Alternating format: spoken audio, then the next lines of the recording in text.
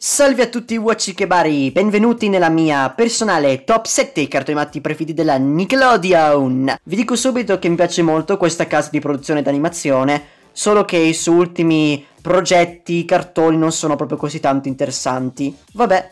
Numero 7, i due fantagenitori, The Fairly Odd Parents. Tan tan tan ta da. Questo cartone sicuramente lo conoscete perché è super famoso, uno dei migliori Nickelodeon e parla di Timmy Turner, un bambino di 10 anni, forse anche di più, che ha due fantagenitori, Cosmo e Wanda, che hanno delle bacchette magiche e possono esaudire ogni desiderio di Timmy Turner. Timmy Turner vuole un bazooka? Va benissimo. Timmy Turner vuole conquistare il mondo? Eh, forse. Timmy Turner vuole esaudire il problema e risolvere la questione del Covid? No. Timmy Turner fa spesso dei desideri strani e in molti episodi, diciamo in tutti quanti, Timmy, Cosme e Wanda devono risolvere i problemi del desiderio di Timmy. Ah, che gran combina guai, vero? Un cartone divertente, bello, originale, visto mille volte. Peccato che è durato fin troppo e la decima stagione è meglio non parlarne. Già, oh mio dio. Numero 6. A casa dell'Oud, The Loud House, uno dei più recenti cartoni di Nickelodeon e devo dire che mi piace, mi piace.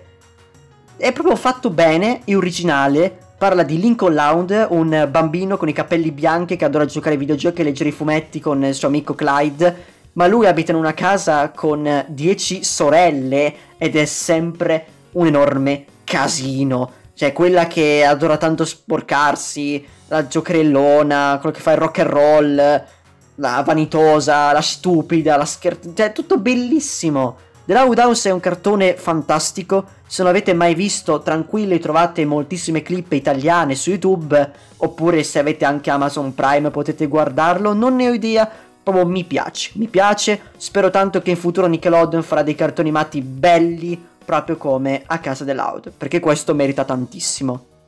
Numero Q5 i pinguini di Madagascar, la serie spin-off di Madagascar.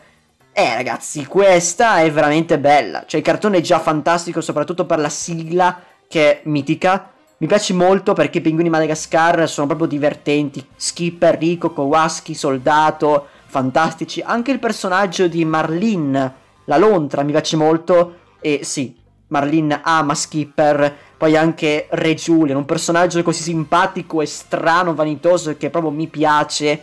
Mortino, Maurice, il fantastico cattivo Torblo Hall, tutto quanto di questo cartone è perfetto. Ho visto tantissimi special, una serie che è durata tantissimo, visto molte volte in televisione, mi piace. E soprattutto io adoro il film dei pinguini Madagascar. Veramente stupendo. Numero 4. The Ren e Stimpy Show. allora, chi è che conosce questi due personaggi? Beh, devo dire che sono molto strani. Gli episodi di questo cartone sono qualcosa di schifosamente bello, vomitevolmente meraviglioso, stranamente epico. Sul serio, i due personaggi litigano si fanno del male, sono sempre in pericolo. Ren, che dice spesso la parola idiota, bullizza Stimpy, Stimpy che è uno stupido. Fanno giro degli episodi su come strapparsi i denti, come vomitare Ben, un cartone adatto a tutti quanti i bambini, hanno fatto pure la versione adulta. Ren e Stimpy, veramente bello, bello, bello, mi piace molto. L'ho visto in inglese, eh, perché in italiano non esiste. E io ho fatto un doppiaggio su Ren e Stimpy, per chi non lo sa. Ah, e una cosa.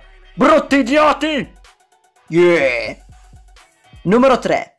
Teenage Mutant Ninja Turtles. E secondo me questo è il miglior cartone animato delle tartarughe ninja. Davvero è fatto benissimo.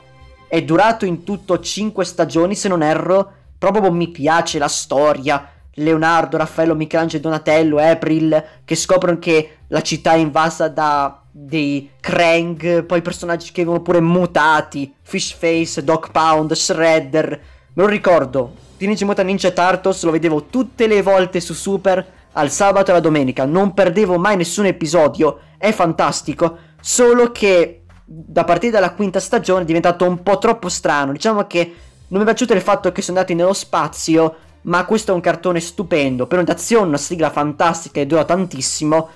Non avete mai visto? Guardatelo, superiore di gran lunga al nuovo Tartarughe Ninja, ed è vero. Numero 2. Cat Dog, Cat Dog. È solo qua il mondo del dolce Cat Dog. Cat Dog, ragazzi, parla di un cane e un gatto nello stesso corpo e loro sono fratelli. Già, solo che sono attaccati, non possono staccarsi e sono sempre in grande pericolo. Dog vuole correre, Cat non vuole, si fanno del male. Cat è un tipo molto astuto, intelligente, pensa a denaro. Dog è stupido, giocherellone e divertente. Doppiate da due doppiatori fantastici. Cat Dog è un cartone stupendo, originale, fatto bene, ma proprio anche molto molto serio. I due personaggi vengono bullizzati tantissime volte perché sono diversi, strani, ma io voglio vedere cartoni animati come questo, voglio vedere qualcosa in più. Cioè, ragazzi, Cat Dog è veramente bello, bello, bello, bello, peccato che non l'ho mai visto in lingua italiana. Che schifo. Viva Cat Dog. Numero 1. SpongeBob SquarePants, il mio cartone animato preferito del mondo. Ho fatto pure la playlist The SpongeBob Show. Ragazzi, Bellissimo. Io, io devo dire sul serio, SpongeBob è un cartone che considero un capolavoro con la C maiuscola. È super popolare, soprattutto per i meme, le musiche remixate, le creepypasta, le animazioni, c'è anche l'anime. Bellissimo. Hanno fatto tantissimi episodi, tantissime stagioni.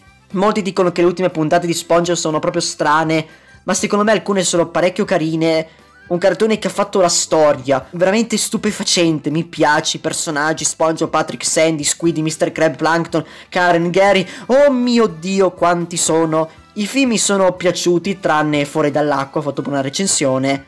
Un cartone che è veramente mitico. Questa è la mia personale top 7 cartoni animati preferiti della Nickelodeon. Se avete nei commenti scrivete la vostra personale classifica. E noi ci vediamo alla prossima. Ciao ciao. Taran taran taran taran.